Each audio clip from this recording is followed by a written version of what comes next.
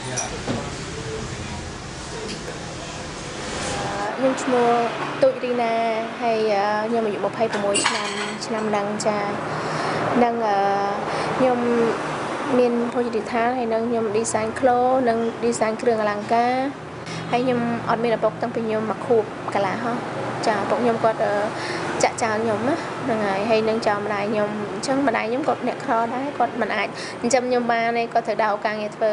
ពេលខ្ញុំអាយុ7ឆ្នាំខ្ញុំរស់នៅក្នុងវត្តជាមួយដូនជីនៅជាមួយគាត់ដើម្បីយក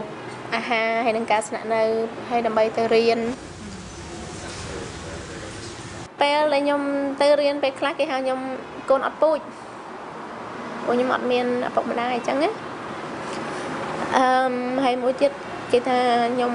អត់មានពុកម្ដាយអញ្ចឹងបើសិនជាខ្ញុំធំឡើងអញ្ចឹងខ្ញុំបែរជាធ្វើស្រីខូចតែម្ចាស់ខ្នល់ហើយចាអញ្ចឹងហើយខ្ញុំចង់មានតែចំណេះវិជ្ជាហ្នឹងកុំឲ្យគេមើលងាយខ្ញុំ ធ្វើការងារទាំងអស់ហ្នឹងខ្ញុំជួយក្មេងៗដែលគាត់មកពីក្រុមគ្រួសារអ្នកក្រខ្ញុំគិតថាការខ្ញុំពីក្មេងខ្ញុំលំបាកខ្លាំងចាខ្ញុំខ្ញុំពីក្មេងខ្ញុំគិតថាបើសិនជាមានអ្នកណាម្នាក់ជួយខ្ញុំឬក៏មានចំណេះវិជ្ជាប្រហាត់បរិញ្ញាខ្ញុំខ្ញុំសប្បាយចិត្តណាហើយខ្ញុំត្រូវការអ្នកជួយតែពីទូខ្ញុំអត់មាន